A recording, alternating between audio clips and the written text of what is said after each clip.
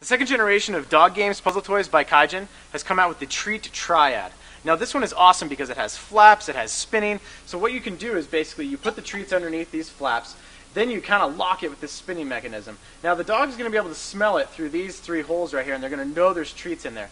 Then the dog will actually learn to spin this and then they're going to have to lift up these flaps to actually find the treats that are inside. It's like a brain workout for your dogs and they're going to love it.